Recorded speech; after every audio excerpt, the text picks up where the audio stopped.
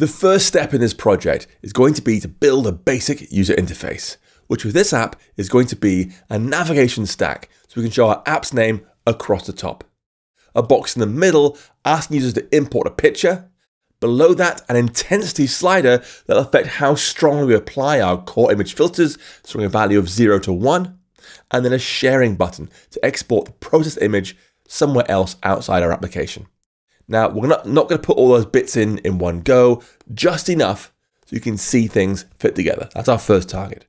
Now, initially, we know the user won't have an image selected, and so we'll represent that with a state property that stores an optional image of what they have alongside that slider value.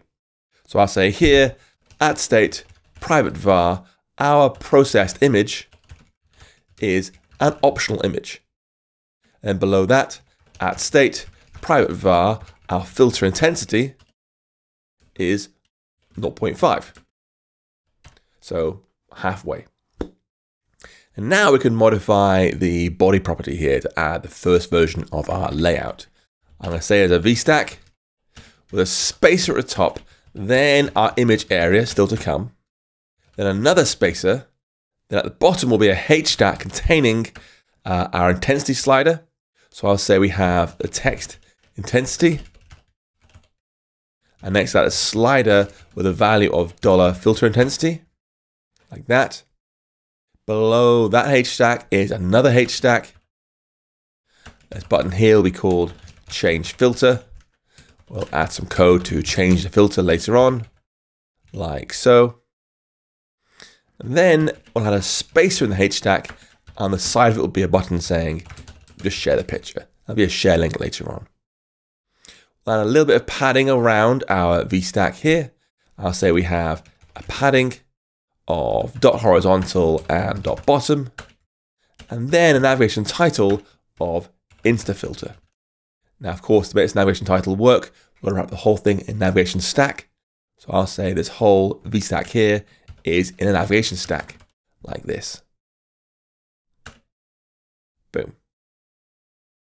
So we have two spaces here, one before image area, one after image area. So ensuring we get space above and below the image selection area, but also ensuring the controls at the bottom stay at the bottom.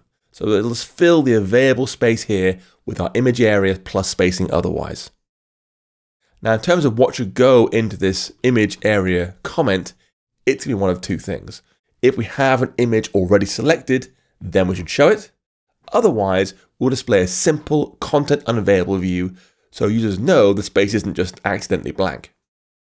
And so in place of that comment, we can write if let processed image, then display the processed image, making it resizable, and making it scale to fit.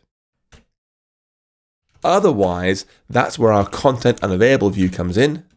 I'm going to say no picture as a title, System image, I'm going to use, let's do photo dot badge dot plus there. And for description, I'm going to add the text of tap to import a photo. Firstly, I just love being able to unwrap optionals right here in our SwiftUI layout. And it works particularly well here because only one of these two is visible, either the image or the content available view. Only one visible depending on we have an image or not. Obviously, yes, uh, tapping won't do anything yet, but we'll add that shortly uh, once you add a, a photos picker. Now, as our code here was, I think, fairly easy, I want to just briefly explore what it looks like to try and clean up our body code here. Because we have lots of layout stuff, which is great, but also there's button action happening here to change the filter uh, right here inside the code. And we're going to add more to that later on. And so it's not going to be a simple toggle a boolean, ultimately it'll do more work. And so rather than putting it directly in line in the body code like this, I'd prefer to add a method to change the filter uh, called something like, you know, change filter, and then call that from the button here.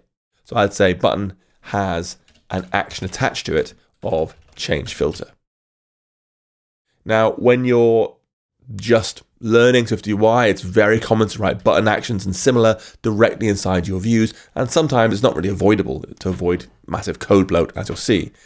But once you get onto a real project, it becomes much more useful and much more helpful uh, to spend extra time to just keep your code cleaned up.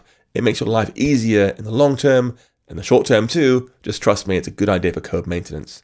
Uh, I'm now going forward, we're in project 13 now, I'm going to add more little cleanup tips like this to help you uh, do better coding as you go, just so you can feel confident your code is in good shape as you approach the end of the course.